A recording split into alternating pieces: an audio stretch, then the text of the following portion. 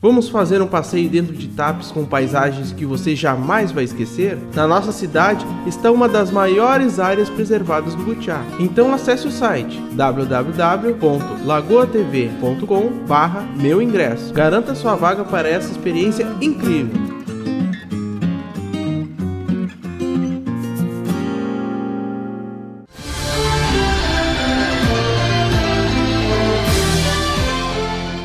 O município de Tapes recebeu nesta sexta-feira, 8 de junho, o novo equipamento para o uso da agricultura familiar na patrulha agrícola do município.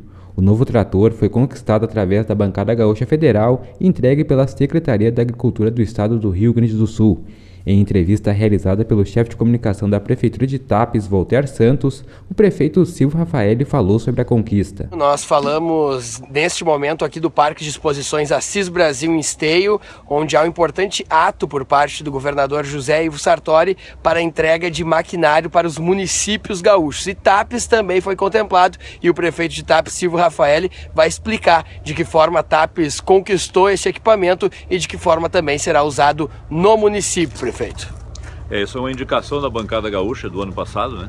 E que é claro que é entregue hoje pela Secretaria de Agricultura do Estado. Então estamos aqui para receber esse trator, esse John Deere, sem, sem CVs, sem cavalos, que vai beneficiar a patrulha agrícola de Tapes. Então, talvez aqui um exemplo das melhores e, e, maiores aquisições do governo federal, juntamente com o governo do estado, onde disponibiliza as máquinas sem precisar fazer licitação. Já vem a máquina pronta, entrega a máquina, não tem burocracia. Estamos aqui, daqui dentro de uma semana, 10 dias, esse trator vai estar em TAPS trabalhando em prol dos, dos pequenos agricultores.